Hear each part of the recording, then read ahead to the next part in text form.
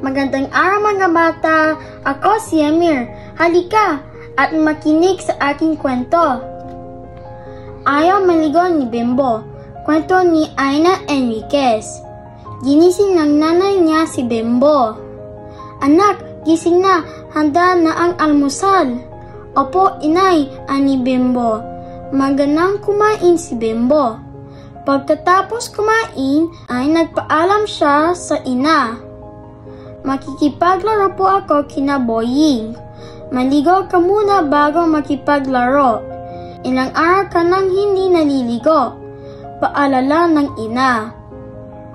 Sa lahat ng pinakaayaw ni Bimbo ay ang maligo. Nasaan si Boying? Tanong ni Bimbo. Naliligo pa, susunod na lang daw, ani Nonoy. Sandali pa ay naglalaro na ang magkakaibigan. Taguan ang laro nila. Pum! Huli ka! Ang siga ni Boying. Isa, dalawa, siga ni Bimbo. Lagi siyang nahuhuli ng mga kaibigan dahil naamoy kung saan siya nagtatago. Ilang araw pa ay wala nang gusto makipaglaro kay Bimbo. Ayaw siguro nilang makipaglaro sa mabaho. Anang ina niya. Ang sabi ng nanay niya ay maligo si Bimbo. Ayoko pong maligo. Kung ayaw nila akong kalaro ay okay lang sa akin. Mag-isang naglaro si Bimbo.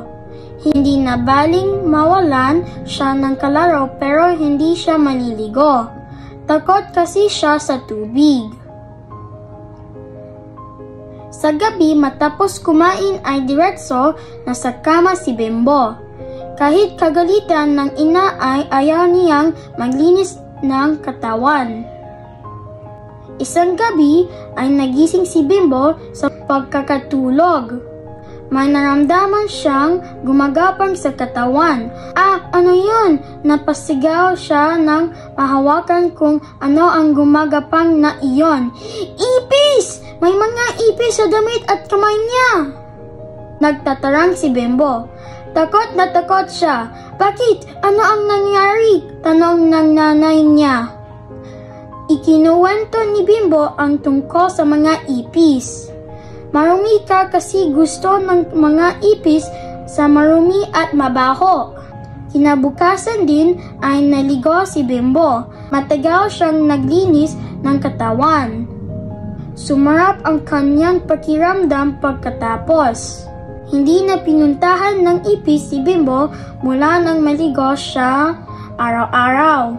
Marami rin ang muling nakipaglaro sa kanya. Nalaman niyang importante na laging maligo ang isang bata. At dyan nagtatapos ang kwento ni Bimbo. Kaya mga bata, galing maligon araw-araw nang hindi napuan ng insekto at magkasakit. Alam!